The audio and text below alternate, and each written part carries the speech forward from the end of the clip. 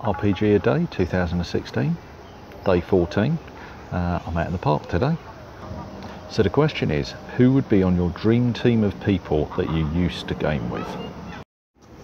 So um, I used to play um, back when I was a teenager back in the 80s possibly beginning of the 90s I lose track of when I stopped um, I used to play with a whole stack of people um, I then stopped for years and years and years and years and years. I got back into the hobby about four years ago, I think.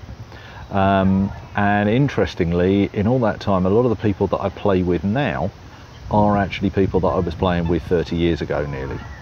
So, yeah, it's a bit of a bit of an awkward one because a lot of the people from my past I am still playing with. Um, one of the interesting things is, though, uh, through social media, I've got a friend of mine who used to live fairly close to us, who is now up at Bangor in North Wales, and uh, I'm in South London in Croydon. Um, he, um, like I say, he's just recently got back into GMing uh, tabletop RPGs. Uh, he always played war games, but he's just getting back into that.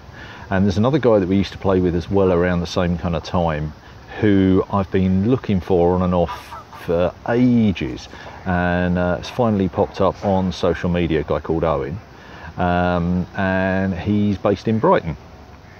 So one of the things that we've suggested I don't know quite how long it will take to happen is that we're actually going to get together with a couple of the guys that I play with now and do a couple of online games um, or maybe just do one one shot I don't know but uh, that will be quite cool so I think on my dream team would be um, a couple of the people that I'm playing with now, plus uh, Owen and Jeff, um, and that actually looks like it's probably going to happen sometime quite soon, which is uh, is quite exciting. After kind of some of these guys I haven't seen in, I don't think I've seen in person in probably 25 years.